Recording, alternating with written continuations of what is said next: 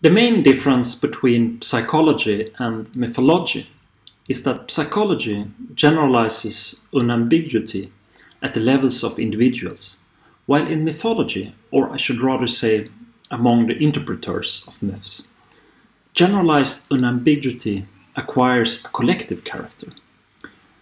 And for structuralists such as Levi Strauss, the standardized reification of human beliefs reach an apotheosis that knows no boundaries, neither in time nor in space, not only among people, but also between nations.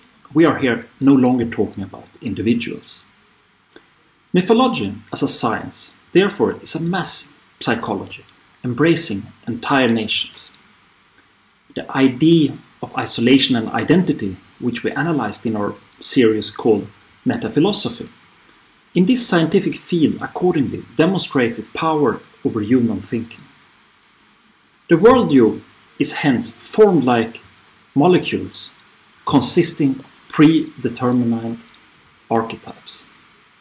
And while the assumption of such monstrous mental constructions, which by their size and pretensions bring mind to the myth of the Tower of Babel, and by their architectural principles rather reminiscent of the Nephelococcygia or the land of the birds in Aristophanes' play with the same name. Another absurdity lies here in how a scientific researcher managed to get inside uh, in the world of the representatives of mythological paradigms in order to then set out the contours of the latter on the basis of the researcher's uh, own worldview to convey a certain picture of the lost, lost world in question. And a similar situation has de developed in other humanitarian sciences about human ideas, such as religious studies, anthropology, cultural studies, and sociology, which are actually based on the same principles, boiling down to a faith in the universal significance of mass psychology.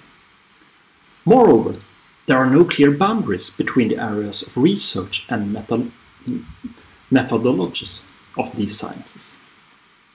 And while mechanics, thermodynamics, electrodynamics, and optics, for example, are considered branches of physics, not a single philosophical concept except the scientific positivism of Auguste Comte, seems, however, to deny the fundamental dependence of these humanities on psychology.